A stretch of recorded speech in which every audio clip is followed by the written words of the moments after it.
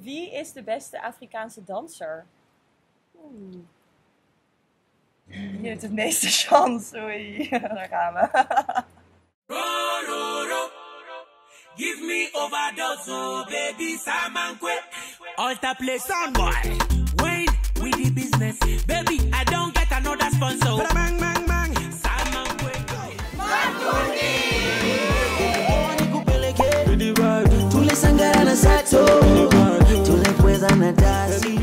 dagen achter op een motor gezeten.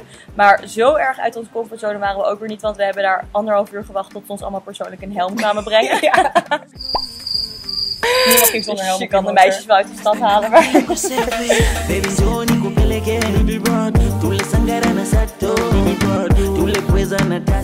We zijn hier nu de groepsfoto van de eeuw aan het maken. Poging tot in ieder geval. Met de twaalf mannen die met ons mee zijn. En de donkeys. Daar komen de tukaogele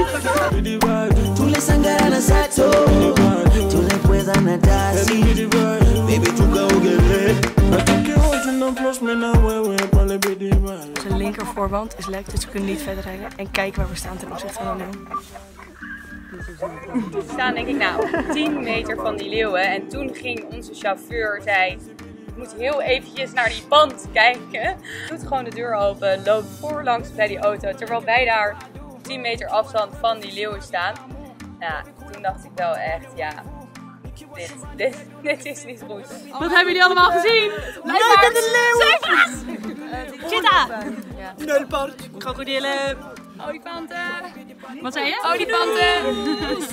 We zijn de tenten aan het opzetten in de Masai Mara.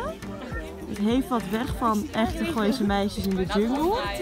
Maar het is gelukt. Zo'n trip als dit is wel echt een banding experience. Ja, en je trekt dus- elkaar ook mee, want ik bijvoorbeeld ik werd met kamperen echt knijterzagrijnig wat. En vervolgens staat er iemand die zegt, kijk, duizend flamingo's. En ik denk, wow, wat vet. En je hele ochtendhumeur is weg, Ja. omdat andere mensen je gewoon meetrekken. Dus dat is echt top aan zo'n reis. Maar je hebt ook geen tijd om soort van een beetje bij de pak neer te zetten. Want Nee. je hebt gewoon vol programma. Je bent Ja. gewoon elke dag vroeg op. En dan ga je weer een vette activiteit doen. En dan ga je weer dit Ja. zien. Dus je bent gewoon constant soort met elkaar van wow, kijk dit, kijk dit.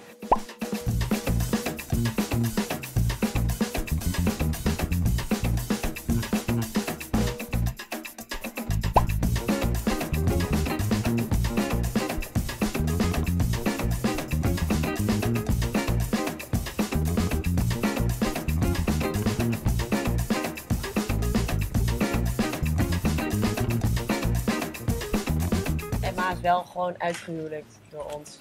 Voor hoeveel Hij heeft ook van weer 40 verkocht? koeien of zo 40 gekocht. koeien. En één koe is 500 euro waard. Ja. Dus dat is echt wel een hele goede prijs voor Ja. hier. Dus we zijn er erg trots op. Dus eh, ja, als wij vrijdag teruggaan, dan eh, Laten we haar laten we haar gewoon lekker achter.